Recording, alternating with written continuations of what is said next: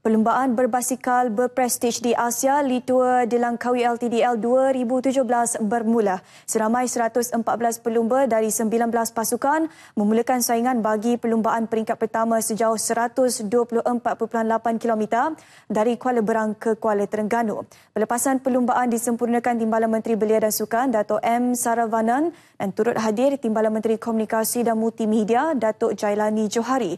Tepat pukul 11 pagi, pelumba dilepaskan bagi mengharungi laluan penumbaan melalui dua zon pendakian dan tiga zon pecutan. Pelumba bakal melalui dua zon pendakian di Gelong 25.3 km dan Perlong 40.8 km manakala tiga zon pecutan di Sungai Tong 59.3 km diikuti padang air 87.7 km dan zon pecutan terakhir 101.8 km. Terkini di zon pendakian pertama didahului oleh pelumba negara pasukan TSG Nor Amirul Fakruddin Mazuki, kedua oleh pelumba Marcelo Philip dari pasukan 711 Road Bike Philippines dan ketiga Maxad Ayabayas dari pasukan KY Look Cycling Team.